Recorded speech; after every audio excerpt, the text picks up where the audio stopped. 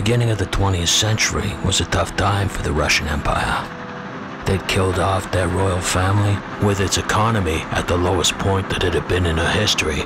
That coupled with one civil war rolling into the next, culminating with the country's disastrous entrance into World War I, with millions of lives lost in battle and just as many perishing from famine. And with its borders covering over 23 million kilometers, even the government didn't have a clue about what the population was and who was doing what, when, and where. But it was around this time that this government put together a crack team to study meteorites, and this team was headed by Leonard Kulik. One day, while doing his research, Kulik stumbled across an old newspaper article about a firestorm in the sky that obliterated an entire forest melting anything in its path, including farmers, livestock, and trees. And the fact that it had happened 12 years earlier in Tunguska, Siberia, one of the most desolate parts of the world, a wooded marsh area that many believed was inhabited by savages, meaning there was a high possibility that the event may not have happened and it was just some sort of tribal bogeyman.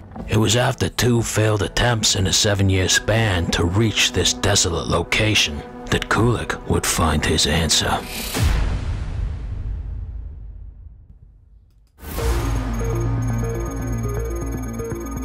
In this world, there are things that go beyond our understanding. Things that our tiny minds cannot possibly comprehend. Like where does reality end and dreams begin? Between the flick of a light switch and a dream. We continually shroud ourselves in a veil of illusion.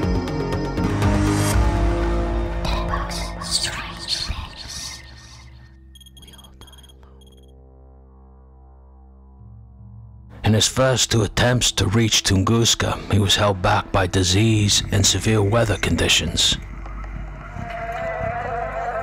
The Tunguska River is now near modern-day Krasnias and is still considered one of the most remote parts of the world. Disease-ridden swamps, severe weather changes, but Kulik had more than just the terrain to worry about. The locals were still savages and believed in a variety of pagan gods. But when he reached the Tunguska River, he was shocked what he saw. The trees, as far as he could see, were laying down straight like arrows, with a blast that seemed to have come from above. With no point of impact or crater, his guides had now abandoned him for fear of the gods' revenge. But Kulik continued, trying to find the epicenter of the blast. The natives who did speak to him said that they saw a flat, flying rock that resembled a city. Once Kulik reached the center of the blast, he was even more shocked. For what he found were trees standing up like telephone poles, a point of impact, but without a crater. It seemed to defy everything he knew. Now running out of food, he had to return to Moscow. With bad news telling his superiors he didn't have a fucking clue what had happened. The worst part is he was trying to convince his bosses it was a meteor, and he couldn't even show him a stone that he'd found. The meteor loving egghead returned two more times in his life to the location, and still he left knowing less than when he arrived. And now, over a hundred years later, the area, known as the Dead Forest, still shows signs of that eventful day. And meteorites have never been uncommon to Russia, but they all have one similarity a point of impact. Scientists now believe that the explosion was a thousand times more intense than Hiroshima. And the Russian government now admit, because back then they didn't have an adequate census system, they'll never know how many lives may have been lost. But not all things that we perceive are out to destroy us can be blamed on outer space, and not every mystery takes a genius to get to the bottom of. These are tumultuous, reckless, and uncertain times. But did you ever consider that in contrast to the popular beliefs that are shouted down at us, we are not evolving, we are mutating. Goddamn freaks of nature. Case and point. In our short history that the Homo sapien has existed on this earth, we have ravaged this planet from the depths of the jungle to the highest mountain tops. And we're not just leaving a footprint. We've been pushing our whole leg up our god's ass. And there's not a better example of this than in our oceans, with years of waste being dumped and building up. And now, here's a surprise. It's causing us an imminent threat. Experts are unsure when the Great Pacific Garbage Patch appeared, but we now know it exists. Literally a floating island of trash, made up of plastic packaging, bottles, abandoned fishing nets, wood, and general waste that has all converged from the lakes and the waterways of this world, brought together by the currents and then congregating like flies on a dying kitty cat. With the debris now permanently trapped by these very currents, a vortex of the damned. The largest of these floating islands that scientists call patches is three times the size of Texas, with the most threatening of these being in the Pacific Ocean off the coast of Japan. And scientists believe that these patches cause an imminent threat not only to nature, but to mankind. Because although plastic does eventually break down, it breaks down into microplastic, with many of the sea life in the area feeding on it, with up to 74% of their diet being the plastics that eventually ends up on our dinner table. Bon appetit, sweetheart. And scientists figure it might be a reason why men have a decline in sperm count. That's why I only eat meat and I got huge balls. So if you ever wonder why so many pussies get offended these days, it's because they're taking that plastic more than just up their ass. So it seems in regards to the extinction of the human race, it's only a matter of time. Please remember to like my video and smash that thumbs up button. Cause like I give a flying fuck. Called the because if a child is sacrificed, that child's body isn't going to be left. If it's an Orthodox satanic cult, they're going to burn the body and they're going to, to eat it during ceremony, so they'll leave no evidence around. In this life, we are caught between what we know to be true and what we hope to be true. And sadly, there are no variances on this. And even then, most of us end up wrong. So you better wise up, suckers. Case in point.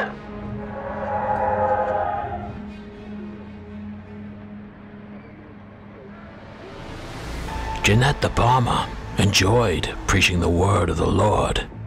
In fact, she figured it were her lot in life. You couldn't finish your Pop Tart without Jeanette slipping the big man's name into a conversation. But the part of Jersey that she hailed from had a reputation for not being so hospitable to the godly one. You and intense scrutiny on the activities of satanic cults. Stories of devil worship and satanic cults corrupting young minds. Unbelievable crime at the hands of satanic cults. It was on July 7th that Jeanette said goodbye to her mother and set out by train to visit her friend. When she missed her curfew and never returned home that night, her mother called the police. At first, the cops told the mother not to panic and that it was more than likely that the pretty teen had run away or found herself a boyfriend. But that was the furthest thing from reality, because it was six weeks later that a dog returned to his home to give his owner a gift a rotted, maggot eaten arm with red nail polish on its young fingertips. And when New Jersey's finest started poking around, it didn't take them long to figure out who the arm belonged to. And they were horrified what they found. Because lying naked, face down in the dirt, looking like a goddamn religious icon, was Jeanette De Palma, her body surrounded by religious iconography and logs in the shape of a coffin, too decomposed for cops to figure out how she died. Her last resting place on the edge of a cliff known as the Devil's Teeth, a spot rumored to be frequented by Satanists to perform their rituals, and now the resting place for a girl barely 16.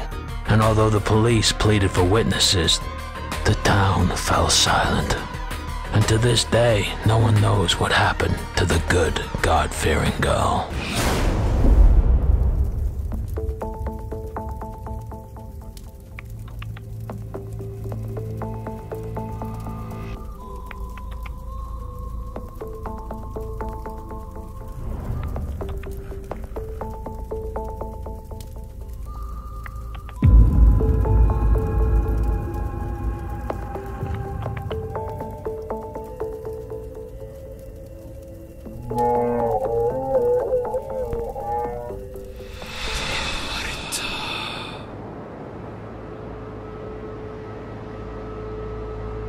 This world, or realm, if you will, that we exist in, is only real as long as we exist.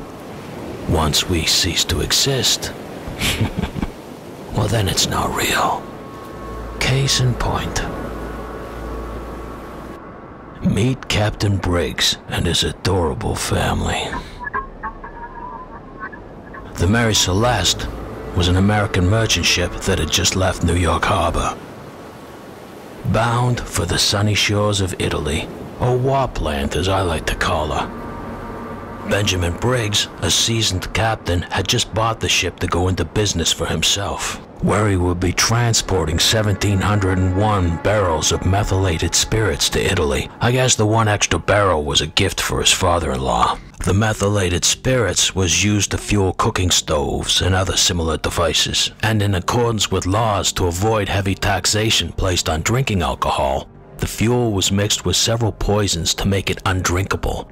Nevertheless, this didn't stop some, and those who drank the fuel would go blind, mad, and often died. On this journey, Briggs would be accompanied by his wife and infant daughter, leaving his son at home with his grandmother as he was still attending school.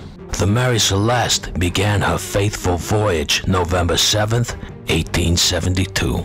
Sailing with seven crewmen, Captain Benjamin Spooner Briggs, his wife Sarah, and the couple's two-year-old daughter Sophia.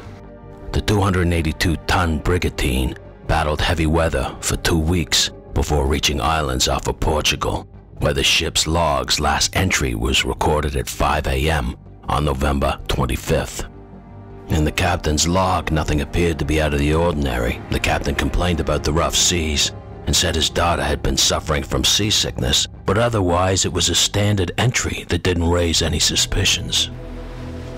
Ten days later, and less than a month after the ship had left New York Harbor, the Mary Celeste was spotted full sail by a Canadian vessel, Dei Gratia, 400 miles east of the Azores, a set of desolate islands in the mid-Atlantic belonging to Portugal. Seeing that one of the Mary Celeste's sails had been damaged and no one on deck, the Dei Gratia's captain hailed out to the ship. When they got no response, they boarded her. Once on board, the crew of the Dei Gratia found themselves on a goddamn ghost ship with its cargo intact.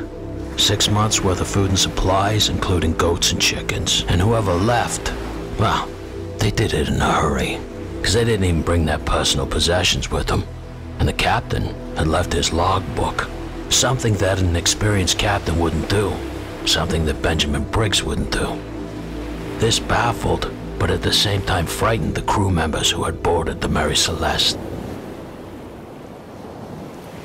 As they further explored the ship, they noticed that one of the water pumps had purposefully been disabled or was broken, and the ship had taken on three feet worth of water.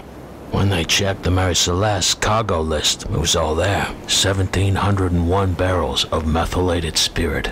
Upon closer inspection, though, three of the barrels were empty. These barrels had been made of oak and not cedar like the rest of them, so it's not impossible that they had leaked, and there was no sign of a fire. And if there were fumes, it wasn't enough to kill the livestock, so it certainly wouldn't have killed any of the crew. So what happened on board the Mary Celeste? Now the Dei Gratia, according to maritime law, was able to claim salvage rights and a reward on the value of the ship and all its cargo, and proceeded to tow the vessel to the nearest port in Gibraltar. And to this day, the ghost ship, known as the Mary Celeste, is one of the maritime's biggest mysteries. Over the years, there have been several theories by experts. One is that the crew members had been drinking the highly poisonous cargo, and in a state of madness, when confronted by the captain, murdered him and his family, throwing them overboard, then taking a lifeboat to the nearby islands that they could see on the horizon. It was reported that a ripped dress had been found, but also on the captain's door there were marks that resembled an axe and signs of blood, but this theory was never proven.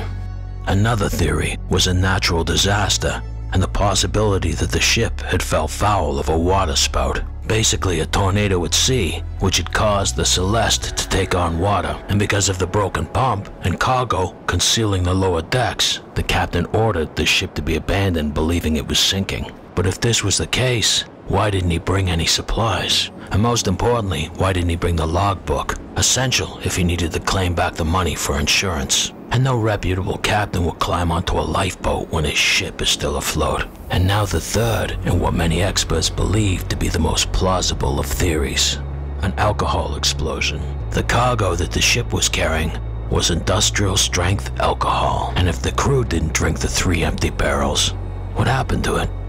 In the Mary Celeste location, there have been documented severe storms, and due to the porous barrels, noxious alcohol may have escaped, causing a small explosion, leaving the captain to believe that a larger explosion was imminent, but also leaving the possibility that Briggs gave the order for the crew to temporarily abandon ship, loading everyone onto the small lifeboat and attaching it to the ship at a safe distance until the danger passed. But with rough seas and possible waves up to 100 feet tall, it's not impossible that the rope could have come undone, damning the captain his family, and his crew to the unforgiving immensity of the sea. This is Deadbug. If you enjoy what I do, think of signing up to Patreon. And whereas for as low as a buck, you get exclusive content, early releases, a weekly podcast, and much more. YouTube is now shadow banning me and forced me to remove a lot of my content. If you want to see that content, you can go over to Odysee. Your invite is in the description. Remember, I do this all by myself. I got no team. Just me, myself, and I.